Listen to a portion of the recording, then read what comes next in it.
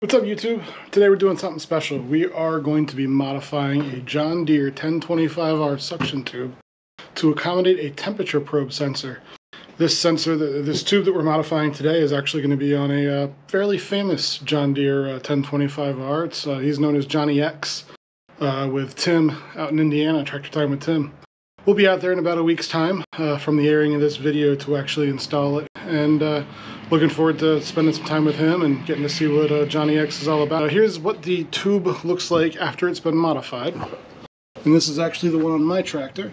And you'll see the suction tube starts down there and basically goes up and into the uh, good old hydraulic pump there. And here's your sensor. Let's go ahead and get started and hopefully we don't break anything.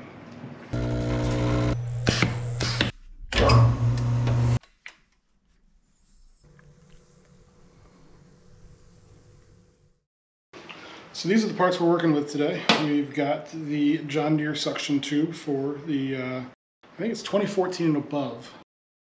1025Rs, 1023Es, and uh, earlier, the I think the 2013 and 2012s had a, a different model suction tube that actually was bolted onto the pump, whereas this one uses a rubber elbow.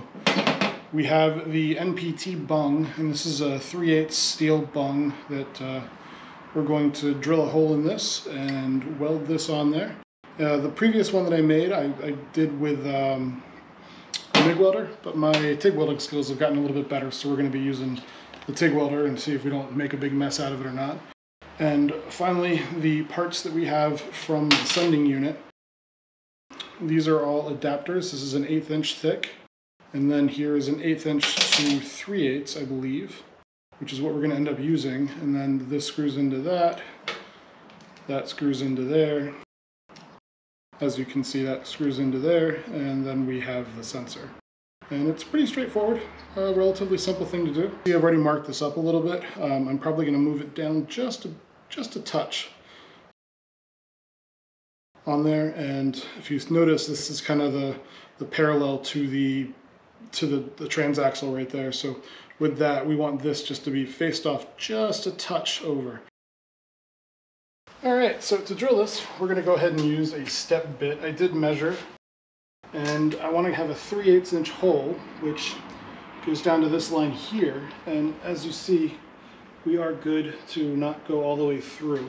Put a dimple in for a starting point. And I like right about there. Fluid always makes things so much easier to cut. And uh, let's see if we can't get this get this started and done.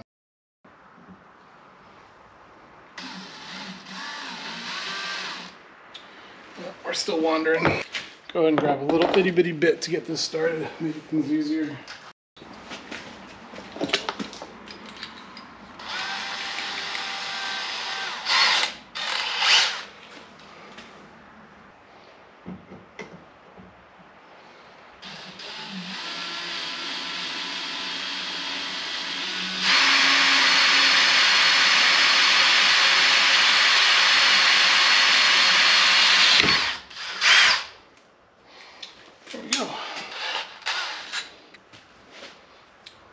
some more cutting fluid.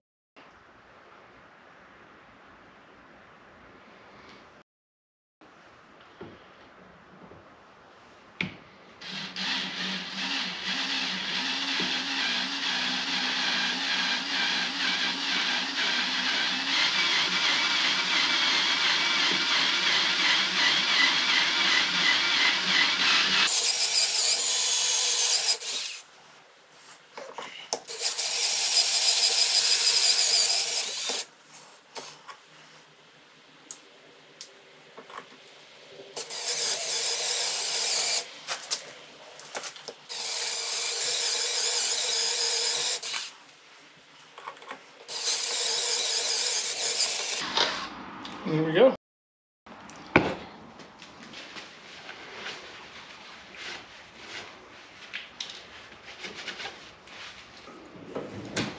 Got the deburring tool.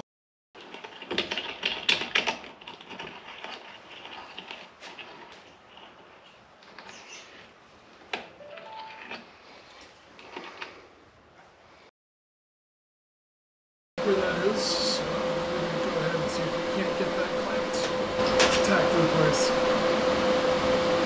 Make things a little easier.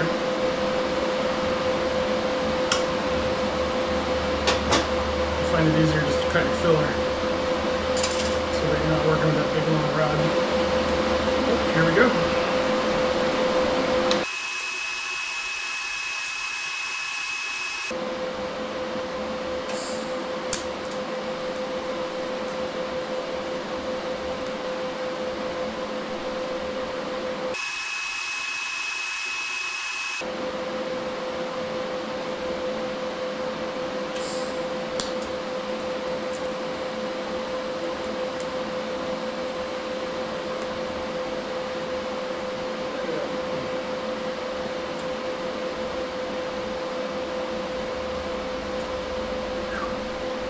So we are Now I'm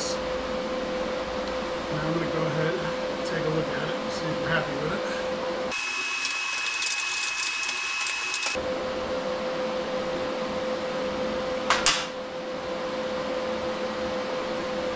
So the next steps is I'm going to go ahead and do a bead right along this bottom edge here and see if I can't get some thickness and fill that in a little bit so that I can actually bring the two of them together.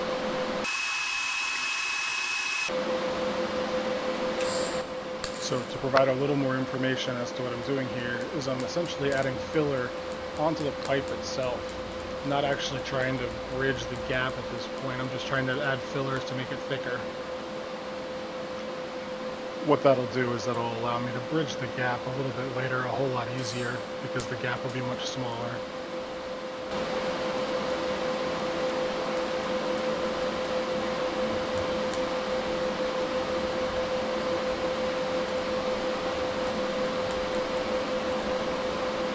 Another cool thing to note, you'll hear a puff of gas before I get started right here.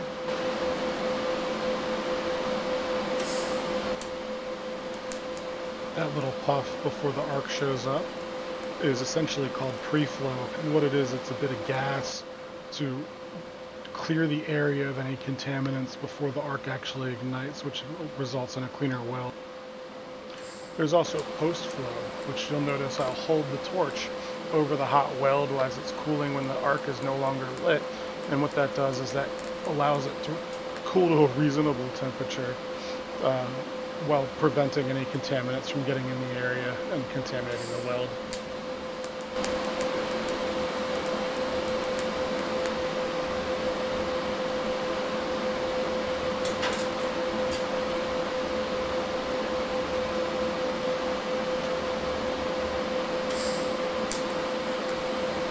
wait for it.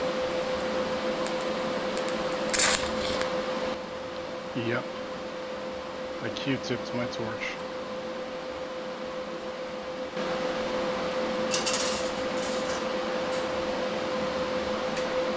And we've Q-tipped our tungsten.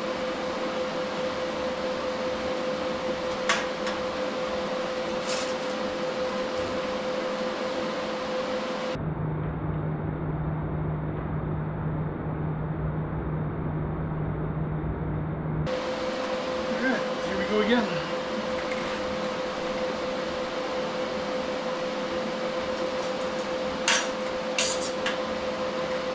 So Q-tipping is when you dip your tungsten into the weld puddle or you touch your filler rod to the hot tungsten, effectively ruining the uh, sharp tip and messing up the ability to control the arc on the actual metal that you're welding.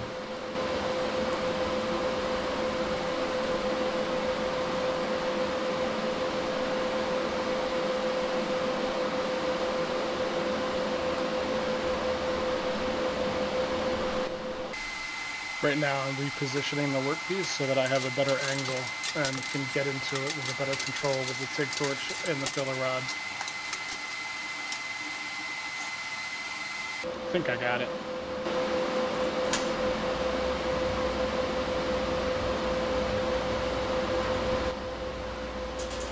Yep. Did it again back to the tungsten grinder to fix that tip.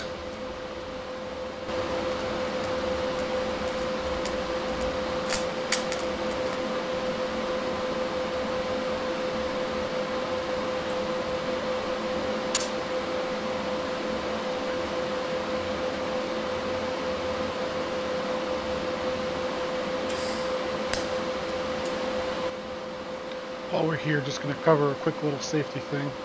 Um, after cutting this and drilling the hole and before welding, I used a little bit of acetone and, and blew out the uh, the piece just to make sure that there wasn't any chemicals remaining from the, the cutting fluid on the metal itself.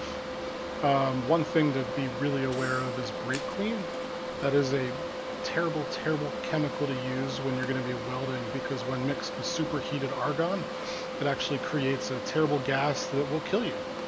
Um, so if you are ever welding and you're not sure that the material is clear or clean from any type of chemicals, definitely take some time to clean it off and ensure that there isn't any residual chemicals on there before you actually go and hit it with a very, very, very hot torch.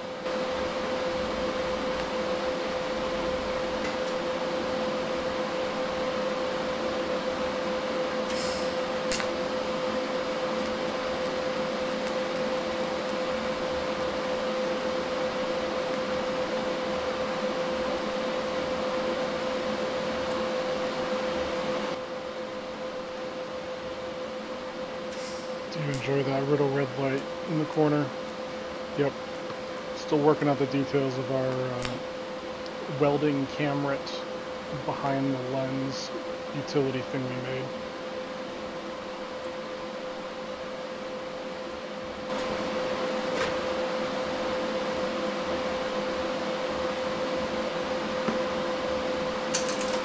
So, I think it's safe to say I'm not going to win any medals for beautiful welds, but I am very confident that that is a solid weld, and it's going to hold up very well.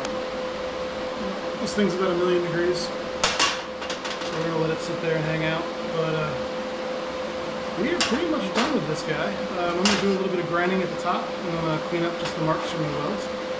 But uh, otherwise, let's say that we, uh, we completed the task at hand. I've got one more of these to make. Uh, we're putting on Johnny X and uh, on regular Johnny. So uh, see you guys in Indiana. Thanks for watching.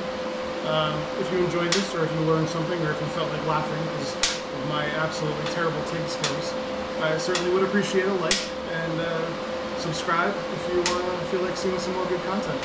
Uh, I call it good. You guys might call it entertaining. I don't know. Thanks for watching regardless. We're, uh, we're glad you're here. And uh, always try to be the person that your dog thinks you are. Have a good one, everyone.